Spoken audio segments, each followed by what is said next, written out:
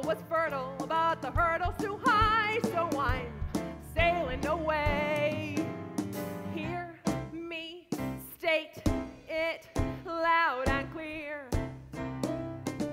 My spirits will be rising in horizons out there, cause I'm sailing away. Too bad it didn't work out. It's their fault completely. It's they who drove me from the grove, if truth be told. Each night they'd light their fires and leave me out in the cold. Oh, that's awful. How could anyone stay proud, my dear?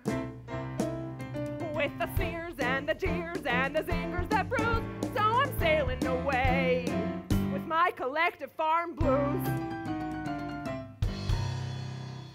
Oh, no, don't. Here. It's okay. Thank you. This is very nice. Yes. What is it? It's called Kleenex. Maddie? What? Maddie, I- I'm gonna go check up on Shmolik. Uh, sorry for your problems, ma'am. I tried to tell them I helped them. I wanted to tell you need to organize.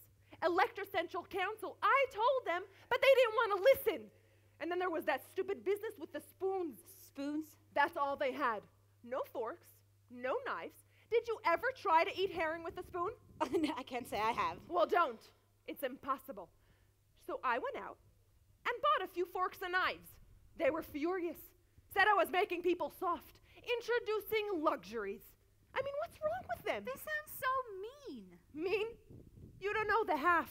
They linked and swayed and ricocheted me from their cliquish dance.